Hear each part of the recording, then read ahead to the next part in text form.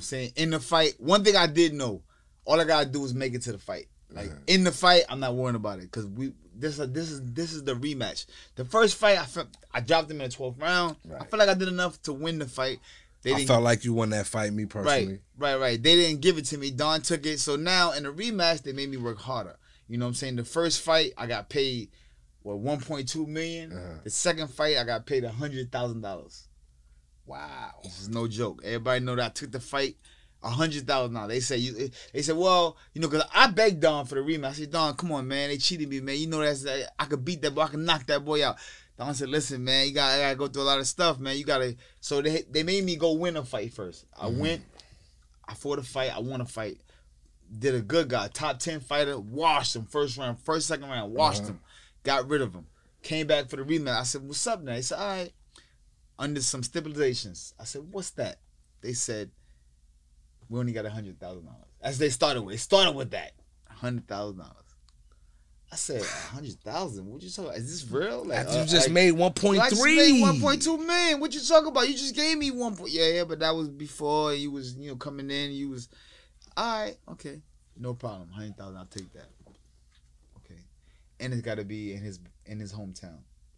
Now you know me. I'm, I'm- and what? What's his name? I think we could fight in in his mama kitchen. I don't, you know, kid, know, at the time, that's my man now. You know what I'm saying? At the time, I was like, what? I don't care where we go. Mhm. And they said, okay, uh, doom. Then they did some other stuff during the fight week. They said, um, you knock a lot of guys out with those gloves on. You can't wear those. What?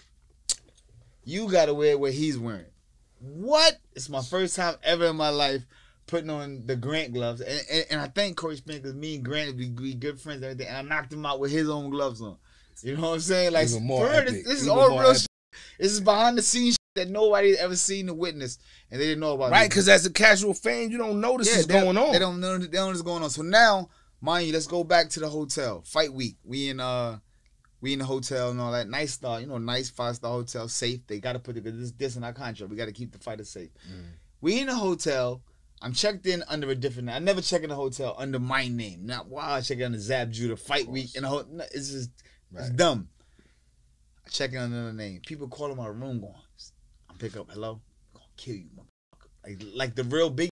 Like the real the real. like yo, the Joe, Malcolm X, like in the Like movie, the- like, like the you real- gonna so- be one red dead, like son, son, this is real talk. Pops and Abe, a lot of people that was there that could they could is real shit.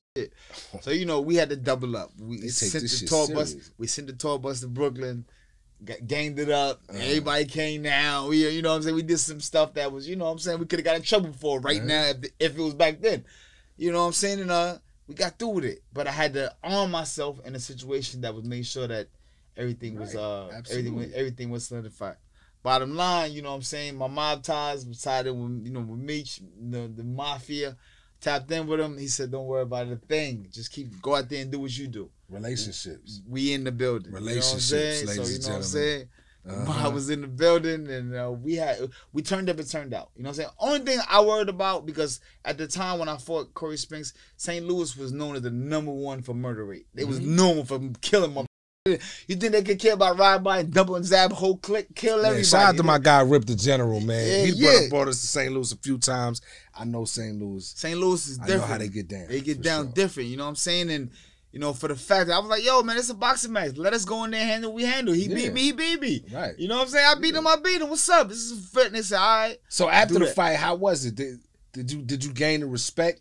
Did Oh, they- yeah. Did you get up out of there no problems or? got- no, so after, you know what I'm saying? So what we did was smart. So we stayed across the street from the hotel. Man. Upon going there, they wanted to drive us over there. We said no. 'Cause we- what we wanted to do was some real Brooklyn shit. We feel in numbers, we strong. Uh-huh. We all said, we all, at, at a certain time, I don't know, I can't remember the time. Eight o'clock, everybody meet in the lobby. We walking over to the arena. That's how we walked to the fight, and that's how we got back. We all walked there, we walked back.